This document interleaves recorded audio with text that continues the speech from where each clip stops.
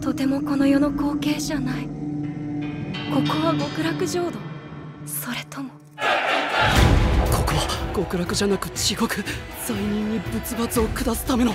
ただ生きて帰りたいってことに理由が必要？これは天罰なんだ。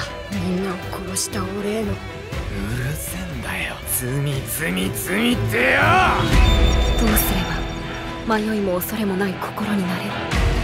これは弱さだ全く厄介だ。心ってやつは許してくれ。